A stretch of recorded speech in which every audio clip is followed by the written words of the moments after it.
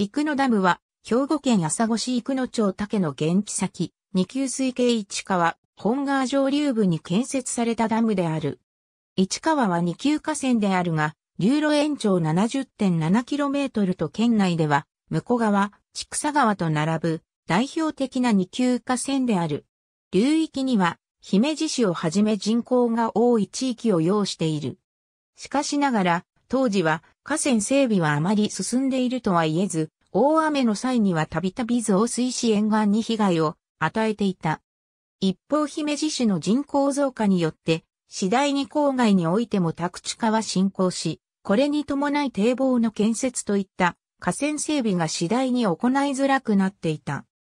さらに人口増加は上水道需要の増加をもたらし、かつ、播磨灘沿岸の播磨臨海工業地帯は工業整備特別地域に指定されたこともあって、新日本製鉄や山陽特殊製鋼等の大規模製鉄所が進出、工業用水の需要も急速に高まった。だが、元来、瀬戸内海気候に属する播磨平野は、小雨傾向が強く、古来より、ため池が多く建設されているように水の確保が難儀な地域であり、渇水時には、姫路市でも給水制限を余儀なくされていた。こうしたことから、市川の治水と利水を効率的に図るべく、多目的ダムによる総合開発が妥当という結論に達し、兵庫県県土整備部は、市川総合開発事業を1968年より計画。その根幹事業として、生野銀山のある、将来郡生野町の竹源屋地点の鹿本川に、補助多目的ダムを建設することになった。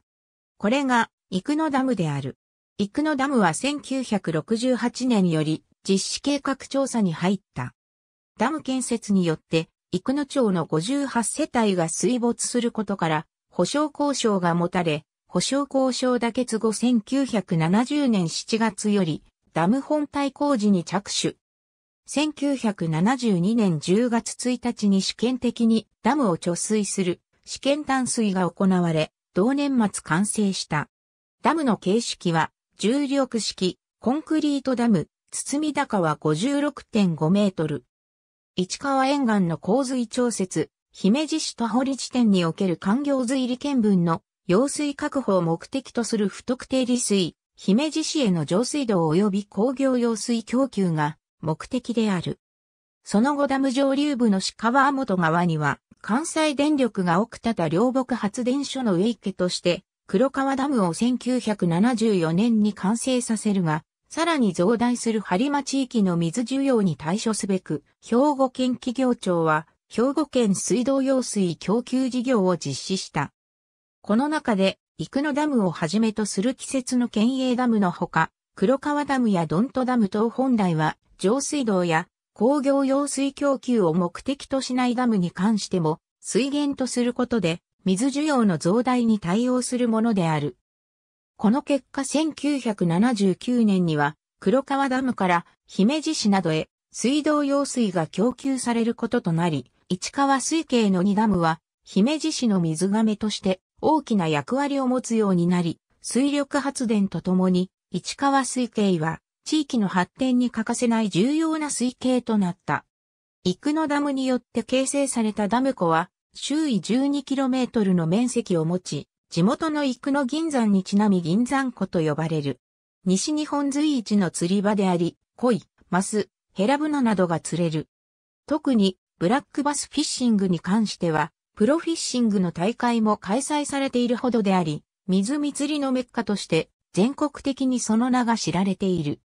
また、湖中央部には、岡見神社が浮かぶ珍しい光景を目にすることもできる。なお、奥多田ダムの人造湖の正式名称も銀山湖であり、当地にあった銀山に由来している。貸しボートがあり、近隣ではキャンプも楽しめる。